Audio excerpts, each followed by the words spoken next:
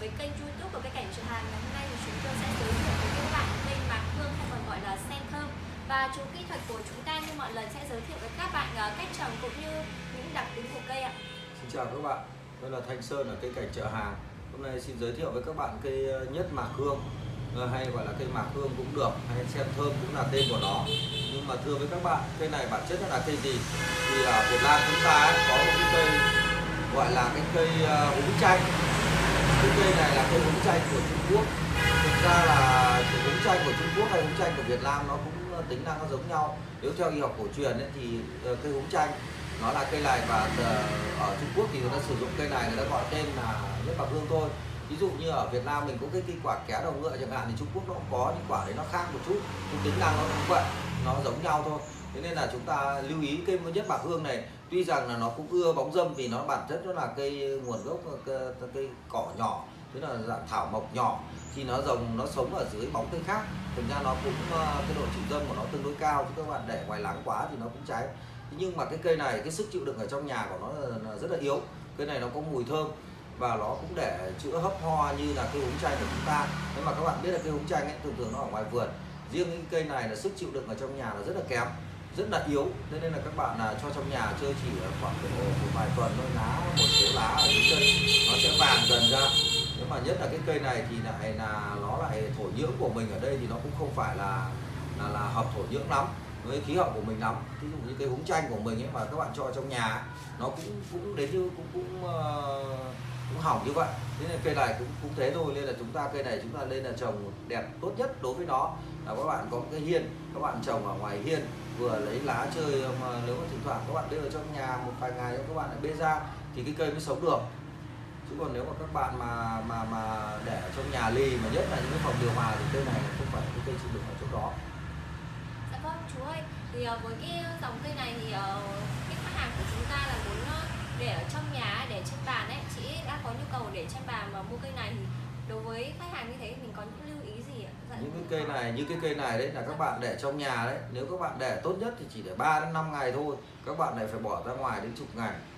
Chứ nếu mà để trong nhà khoảng 10 15 ngày thôi bắt đầu là hoặc là 10 ngày trở ra thôi là bắt đầu xuống lá rồi. Dạ vâng. cây này là cây bản chất của nó đúng như tôi giới thiệu là nó chịu dâm chịu ánh sáng yếu. Nhưng cây này không phải là cái dạng chịu dạng ánh sáng yếu rất tốt ví dụ như trầu bà hay là cây lan ý nó sức chịu dâm của nó cao hơn hay là cây đế vương nó cũng chịu dâm cao hơn còn cây này sức chịu dâm của nó không cao như vậy nên là nó ở trong môi trường trong nhà là nó không chịu được.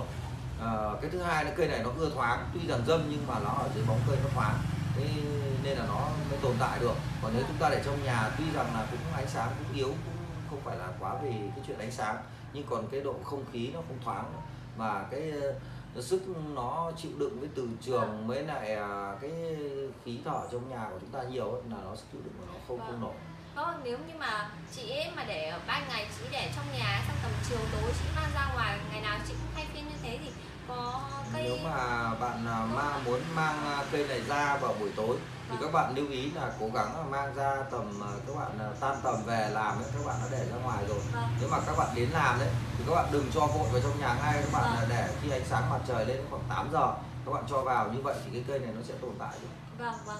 Nghĩa từ 8 giờ trở đi thì cho vào trong nhà được, Đúng sau đó rồi. thì tầm nó khi tan làm vâng. đỡ nó hưởng một chú. chút ánh sáng Vâng. Để cho nó quang hợp thế Vâng, rồi vâng. là ta cho vào thì độ bền nó cao hơn Vâng. thì nếu mà các bạn thấy lá nó hơi yếu yếu thì các bạn có thể để chỗ bóng râm không có ánh nắng trực tiếp Vâng. Ờ, thêm một hai ngày rồi các bạn lại cho vào thì cái cây nó sẽ mãi mãi ở với bạn nó không bị hỏng À, vâng. Với những ý như này với các chị ờ, mua cây để trong nhà thì mình muốn để ngoài tầm 8 giờ sáng mình cho vào sau đó thì khi mà tan tầm tập 5 giờ chiều mình lại cho ra để cho cây có sự ờ, Quang hợp. quang hợp Dạ, và hợp. hít thở không khí cái, cái, cái, cây này đấy thì là nó là cái dạng thân mềm thật nhưng mà lá nó rất mọng nước. Cái khả năng mất nước của cây là rất ít nó giữ nước trong thân là rất là tốt. Nên các bạn chỉ cần nếu như cái cây này nếu các bạn tưới một ngày một lần hay hai ngày một lần đều được. Nhưng mỗi một lần thì các bạn chỉ dùng một cái chén uống trà hoặc để một hai phần ba cái chén uống trà bạn tưới đều trên cây là được. Thì nghĩ tầm 200 ml là đủ không 20 ml thôi. 20 ml có nghĩa là cái chén À. uh, uống trà ấy nó to khoảng độ mà chúng ta vẫn uống Vâng. trà cái thanh niên uống đấy. Hay là cái chén ờ, chè tàu ở ngoài quán cũng được. Vâng, vâng. ta chỉ cần lấy nửa chén đấy hoặc hơn nửa chén đấy là 2 phần ba chén đấy là được. Vâng ạ. Cái chén mà thanh liên hay uống trà ở ngoài quán. Dạ vâng vâng. Thì chắc là dễ hiểu thôi. Vâng ạ Thế bây giờ là tôi sẽ giới thiệu tôi sẽ trồng trực tiếp cái cây này vào trong cái chậu này. Thì trồng cây đấy thì các bạn chỉ việc là cho đất vào chậu thôi nhưng mà chúng ta cho thì chúng ta cũng phải lưu ý một chút. Đầu tiên chúng ta lo ước chừng cái cây này xem độ cao của cái cây này đất nó đến đâu để ta cho đất. Nếu không ta cho cao quá nó sẽ vỡ lên. Trên đây thì tôi giới thiệu tôi dùng cái muôi này hoặc là cái bay múc để cho nó mà các bạn cũng không nên thò tay vào. Còn nhà vườn như chúng tôi đấy thì ờ, tay nó bốc đất nó quen này nên là bốc thoải mái thôi. Các bạn không không lên làm như thế các bạn có thể dùng cái gì đó. Chúng ta trồng ít nhưng có một hai cây thôi. Ờ, không cần phải vội vàng lắm. Vâng, cháu vừa nghe nói là chú cây ờ, này có tác dụng về y học đúng không ạ? Trong bản cây này là nó là một cây thuốc nhưng mà cây này nó không phải ở Việt Nam nhưng cây Việt Nam là cây húng chanh. Cây húng chanh với cây nhất mạc hương này là cùng một một loài và cùng một công dụng nên là có thể sử dụng giống với cây húng chanh được Cây này xuất phát từ đâu ạ chú? Cây cây này là nếu nói là nguồn gốc là nó ở phía bắc. Thôi và trong đông y người ta hay gọi là thuốc bắc ấy. À, thì là cây húng chanh ở Việt Nam cũng có đâm ra người ta không nhập về người ta bán cái cây. Và tính năng cây cây húng chanh ở Trung Quốc này nó cũng không hơn cây húng chanh ở Việt Nam.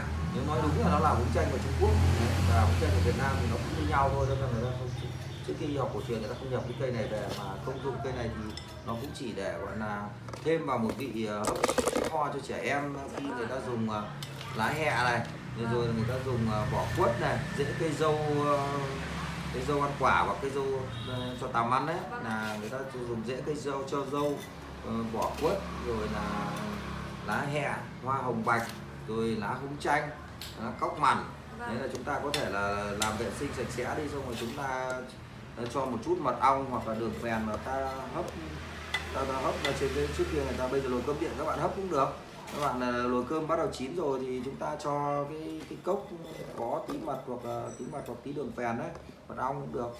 Ta hấp lên xong người ta lấy một chút nhỏ nhỏ ta cho trẻ con uống bằng cái xìa bé tí đấy Thế là, là các cụ nhà ta vẫn vẫn dùng như thế. Dạ vâng cây này thì là chúng ta trồng nó lưu ý là chúng ta chơi- Cây cây này có có lấy ạ hay không cái này là nó ở đất của mình. À, dạ vâng cái có sâu nhỏ mà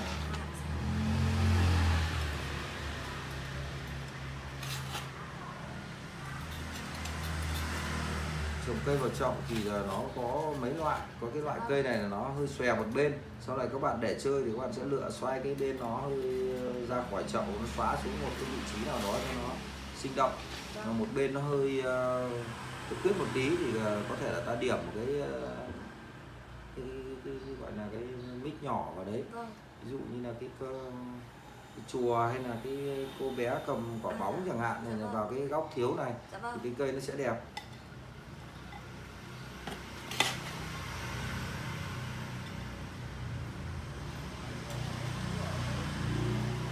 cái cây nhất mạc hương này của Trung Quốc ấy thì là nếu nói là từ trước đến giờ đấy thì là cái thuốc của Trung Quốc thì nhiều lúc nó sang Việt Nam sử dụng cũng nhiều Vâng. Thế nên ra là là cái cái tính năng cây húng chanh của mình ấy nó cũng thơm nhưng mà nó không thơm nhiều bằng cây cây nhất mạc hương này. Nên là người ta gọi nhất mạc hương là nó, nó thơm hơn. Cây húng chanh của ta cũng thơm nhưng cây này nó thơm hơn.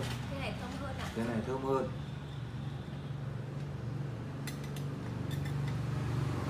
à, từ trước đến giờ thì thuốc nam với thuốc bắc của Trung Quốc với Việt Nam chúng ta là nó vẫn cứ giao lưu bình thường mà.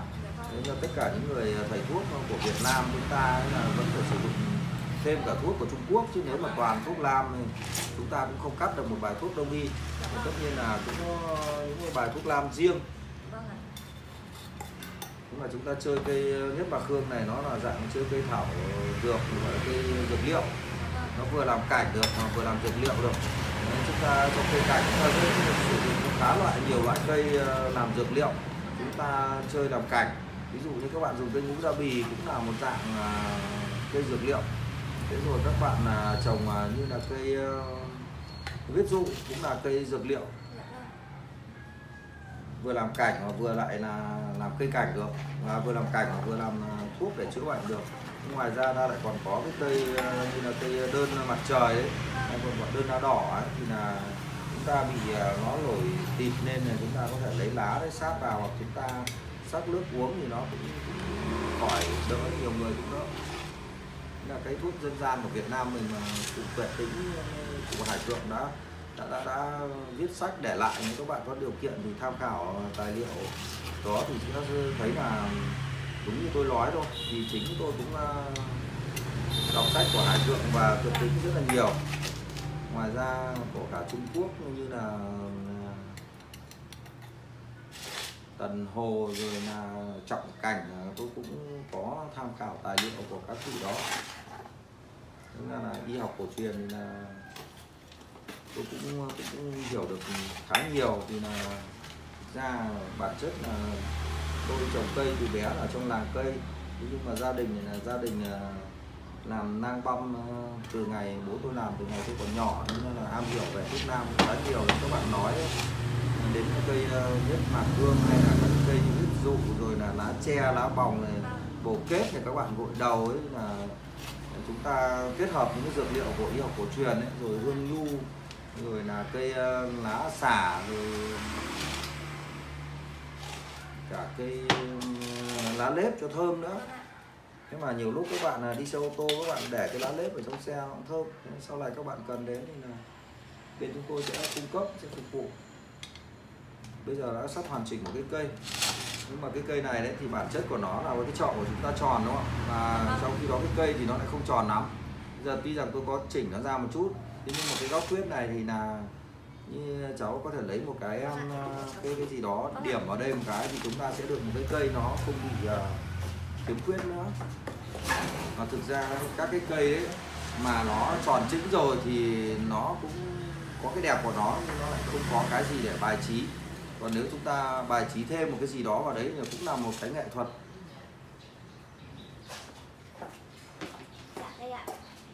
Đây như chúng này chúng ta thí dụ như chúng ta cho cái ô vào đây cũng được chẳng hạn đấy thì là chúng ta bài trí vào đây. Nếu mà cái cây tròn chỉnh rồi thì chúng ta rất khó bài trí. Nếu mà các bạn bài trí một đôi thì chúng ta bài trí như đây là một cái tổ chim con con là ở đây. Thì các bạn thấy không? Một cái cây nó bị khuyết ấy, thì chúng ta mới dễ bố trí thêm. Còn nếu cái cây mà nó nó không khuyết ấy, thì chúng ta bố trí nó sẽ khó hơn một chút cần mình ờ, mix một ờ, ít phụ kiện là một, một chút thôi vâng. các bạn có thể dần dần để rồi cây nó sẽ xuôi lá lại một chút nữa thế và nếu có cái lá vàng nào đó thì chúng ta phải nhặt đi thôi thế còn là các bạn nếu mà trồng cái cây này mà để trong văn phòng chơi đấy mà nó vâng. bạn bê ra chịu khó bê ra ngoài ấy, cây nó vẫn sống được dạ. bê ra ngoài cái thời gian ra ngoài mà nếu bạn thấy lá nó nó nó, nó màu sắc nó không còn được đẹp nữa thì các bạn vâng. nên để ngoài nhiều hơn một chút thì cây vẫn sống và sau này nó dài nó sẽ đua dần cái ngọn này xuống xuống mé dưới cổ cái trọng các bạn có thể để trên bàn à, nó hơi xóa xuống một chút. Nó tạo nên một cái rất là duyên. Đây là tôi đã xin giới thiệu xong một cái à, chậu cây về một nhất mạc hương dạ vâng. Cảm ơn quý vị và các bạn đã quan tâm theo dõi kênh youtube và kênh ảnh trợ hàng. Hẹn gặp lại quý vị các bạn trong các video tiếp theo. Và nhớ ủng hộ video của chúng tôi trong những lần tiếp theo nhé.